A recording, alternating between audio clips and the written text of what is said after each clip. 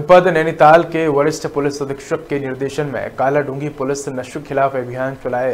जा रहे हैं और महिला सुरक्षा के प्रति लोगों को जागरूक किया गया है। इसी के तहत काला डूँगी के वार्ड नंबर दो में वेलफेयर सोसाइटी के तत्वाधान में आयोजित कार्यक्रम में थाना अध्यक्ष नंदन सेहरावत ने लोगों से अपने बच्चों को नशे से दूर रखने की अपील की और महिला सुरक्षा के बारे में भी बताया। साथ ही महिलाओं की सुरक्षा के लिए मोबाइल में उत्तराखंड पुलिस ऐप और गोरा ऐप डाउनलोड करने की बात कही। इस ऐप पर किसी भी प्रकार की शिकायत दर्ज करवाई जा सकती है। काला डूँगी से मुकेश छिमवाल की रिपोर्ट।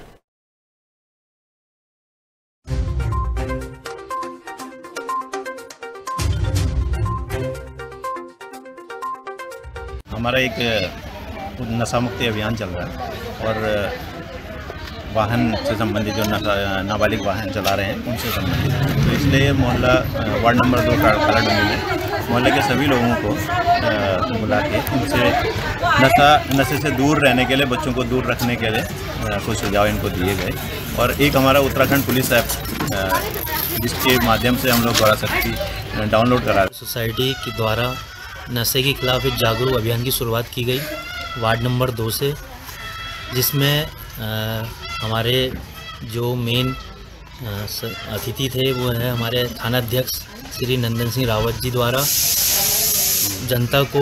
और युवाओं को समझाया गया कि हमें क्यों नशे के से दूर रहना चाहिए और नशे से क्या क्या हानि हानिकारक और समस्या हमें हो सकती